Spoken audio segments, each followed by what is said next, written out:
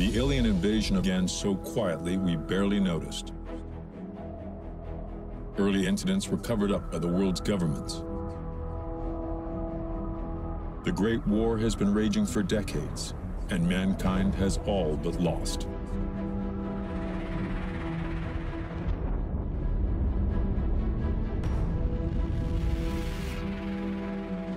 As alien forces close in on the last strongholds of humanity, the UNX world government has developed combat exoskeletons, granting their users superhuman abilities.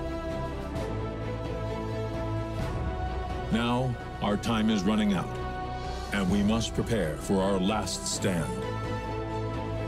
The future of mankind rests on the shoulders of mechanized infantry.